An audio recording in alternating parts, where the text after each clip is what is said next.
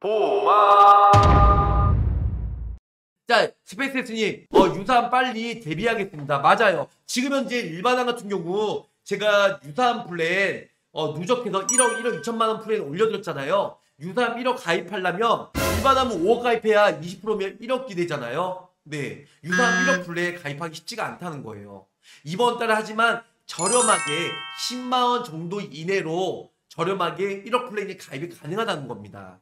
그래서 일단은 좋은 시기 때 다음 달 절대 돌아오지 않습니다. 저 보호만 이렇게 난리스 브리스 친 거 제가 급여 뭐 하나 운전자 보험 절대 돌아오지 않아요. 이번 달이 마지막 마지막입니다. 자 포켓 몸빵님 유사함 어린이는 얼마까지 가입이 가능한 건가요? 지금 현재는 누적으로 5천만 원 가입이 가능한데 누적 보는 회사, 누적 안 보는 회사가 있어요. 뭐 농협이나 AB의 미래에셋, 한화생명은 누적을 안 봅니다. 근데 거의 대부분 손해보험사들은요 5천이 맥스입니다.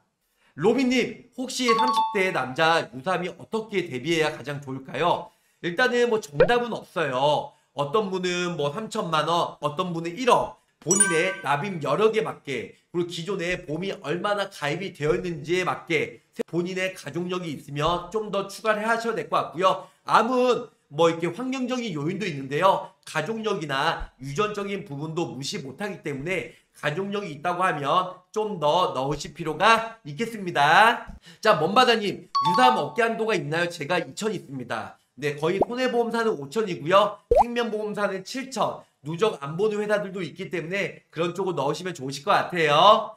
열심히 살자님, 유사함 진짜 절대 전자 없는 건가? 유, 유, 맞아, 없습니다. 없기 때문에 이번 달, 이번 달, 이번 달, 네. 토요일 날 2월까지 손해보험사는 H손보나 아니면 D손해보험이 2월까지 판매가 되니까 그런 쪽으로 가입을 하셔도 좋으실 것 같습니다. 본 광고는 손해보험 광고 심의 기준을 준수하였으며 유효 기간은 심의 일로부터 1년입니다.